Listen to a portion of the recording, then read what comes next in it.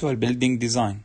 Students names Hamza Al-Tahan, Muhammad Al-Tahan, Ahmed Al-Tahan, Yasin Al-Kadri, Mahmoud Abu Zaid, Jadara University, Jordan. Introduction. The foundation of any construction project is rooted in the concept and design stage. In design environmentally optimal buildings, the objective is to minimize the total environmental impact associated with all life cycle stages of the building project. A sustainable or green building produces net zero or smaller carbon footprint or reduces the other harmful emissions. Five principles of a green building. Number one, sustainable site design. Number two, water conservation and quality. Number three, energy and environment. Number four, conservation of resources and reuse of material. Number five, indoor environmental quality. Structure efficiency.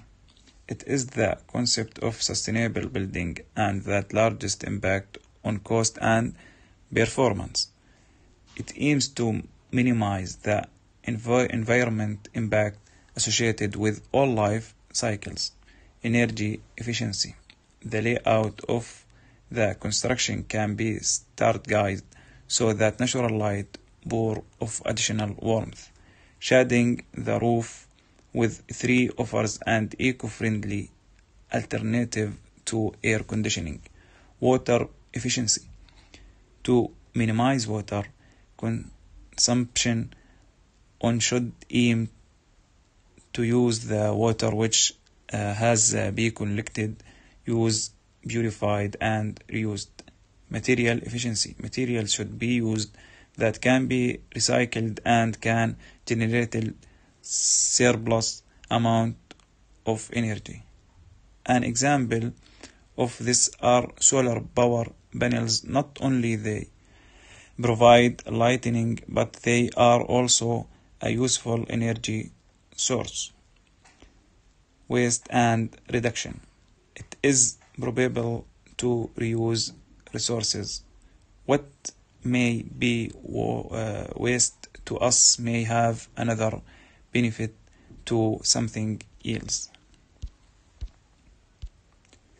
High-rise buildings are exposed to both to both statics and dynamic loads, depending on the method used and who the structure is modeled in finite element software.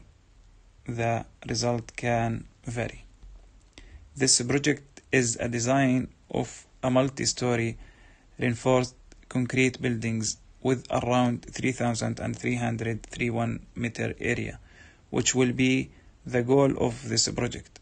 The aim of this project is to make sure that all design course taken during the five academic years is understood and applied properly through the design of a multi-story building.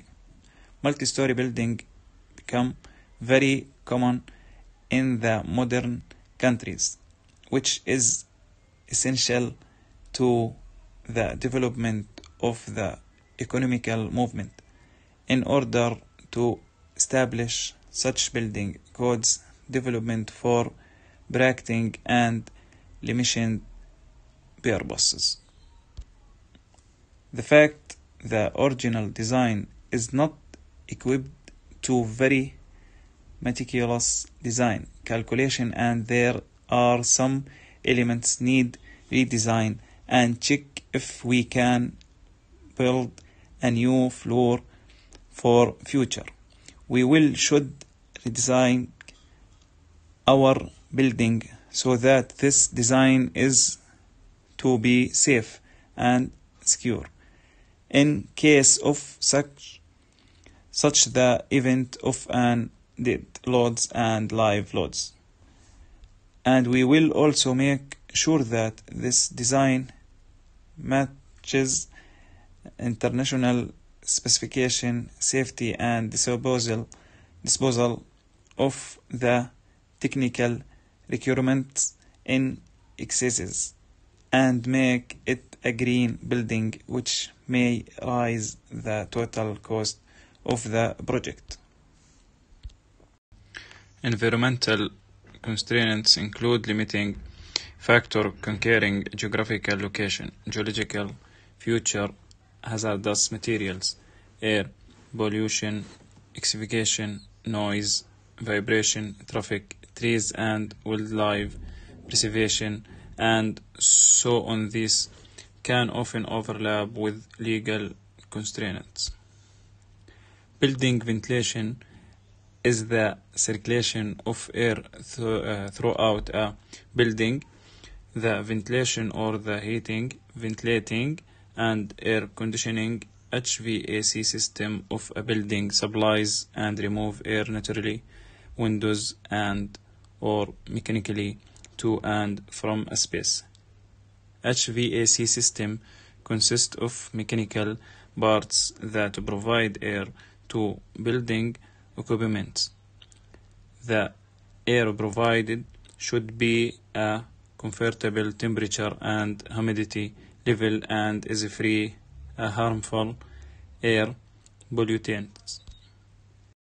Improper operation and maintenance of HVAC systems in a common problems impact workplace indoor environmental quality IEQ. HVAC systems include all of the equipment used to ventilate, heat, cool, and humidify, dehumidify the building. The systems also serves the dilute and remove contaminants from occupied areas including carbon dioxide and carbon monoxide, tobacco smoke, molds and bacteria, cleaning products, copy machines and printers, stickets, vehicle exhaust. Drainage system can contribute to sustainable development and improve the places and spaces where we live, work, and play by blanking and different operated and challenges that influence urban design and the development of communities. Approaches to manage surface water that take account of water quantity, flooding, water quality, pollution, biodiversity, wildlife and planet, and amenity are collectively referred to as Sustainable Drainage System SUDS. In the project, we use Sustainable Drainage System, which is convey the rainfall water filter in the soil, and this system is considered to be environmentally beneficial, causing minimal or no long-term detrimental damage.